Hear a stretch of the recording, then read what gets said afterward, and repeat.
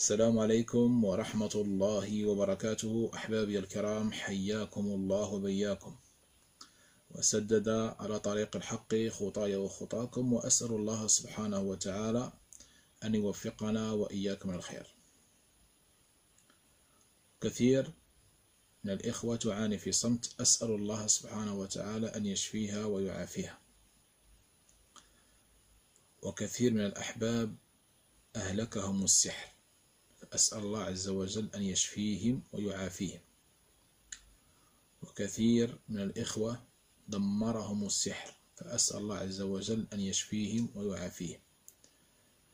فنقول لك هذا الحلم إذا رأيت هذا الحلم فتأكد أنك مصاب بسحر مأكول. إذا تكرر عندك هذا الحلم فأنا أقول لك إنك مصاب بسحر مأكول. وكثير ممن هم مصابون بهذه الأسحار لأن الإنسان لا يخاف الله فيؤذي إخوانه المسلمين. فنسأل الله سبحانه وتعالى أن يدمر كل ساحر وساحرة.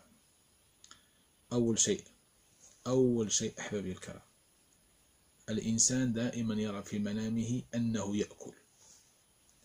الإنسان دائما يرى في منامه أنه يأكل.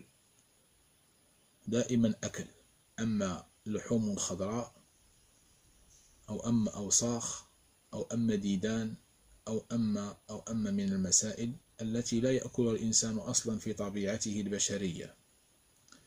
فإذا رأيت أنك دائما تأكل تأكل تأكل فكن أكيد أنك مصاب بسحر مأكول ويجب عليك أن تعالج نفسك قبل فوات الأوان.